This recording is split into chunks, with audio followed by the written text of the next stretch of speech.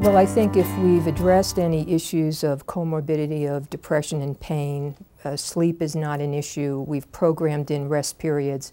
We've evaluated the patient very carefully to see if they need assistive devices to help them get around, and that's not an issue.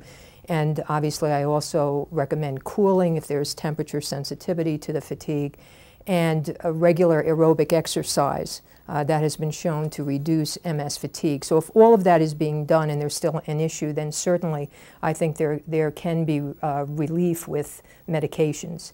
And I think uh, modafinil provigil is probably my first line agent. Uh, amantadine obviously uh, is also um, an option.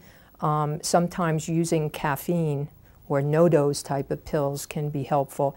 I had been a big fan of Pemoline, Cylert actually. I think there were patients that that really helped. I will occasionally use amphetamine-like agents because mm -hmm. of the addicting properties. I really like to feel very comfortable that I have objective uh, improvement in the patient when I use that. But I think if you get that, then it's certainly justified uh, to use.